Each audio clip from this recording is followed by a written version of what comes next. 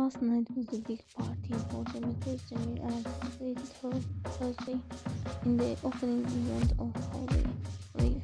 At the same time, Inglaterra also participated in this event and he added that uh, Demir is uh, his, uh, one of the, his best partners and he is there to celebrate her birthday.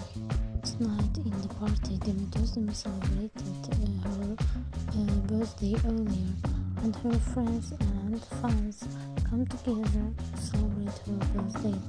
As well in the party we can see her best friends and in the market also her partner as well her friend uh, and her sister Daria the best uh, people of her came here and celebrated her birthday together.